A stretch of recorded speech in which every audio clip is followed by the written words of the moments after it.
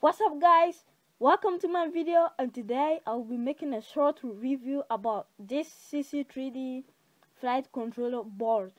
This board is 32-bit and can be configured to fly any airframe, for example a tricopter, a quadcopter, a hexacopter and so on. It can be programmed using a LibrePilot ground control station the Cleanflight, the OpenPilot, and many more. But because the OpenPilot doesn't work anymore, I'll be using the LibrePilot ground control station to program this flight controller.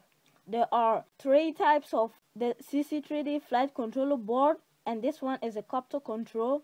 There is also the Atom but it's just the smaller version of this one. This board is pretty small and it weighs 8 grams. You can pick one for about $20 on Amazon, eBay and all that online shops.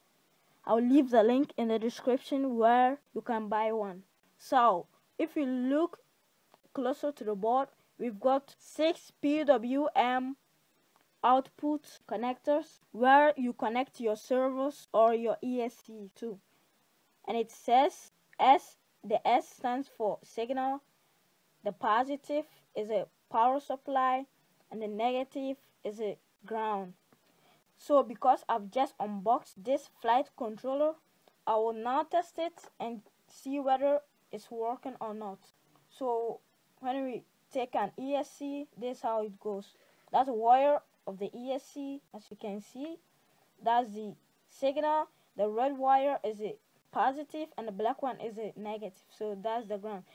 And you have to plug in it there like that and power up the ESCs. There should be a light on the board if it is broken. So that's it. As you can see, light are flashing. It shows that the board is working. So let me go on and disconnect it.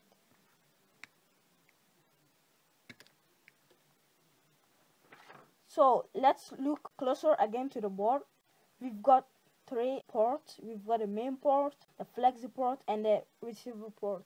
The main port is optionally used for GPS or a Futaba serial bus receiver and satellite receivers. The flexi port is used for telemetries, GPS, and I think OSD, which is on screen display.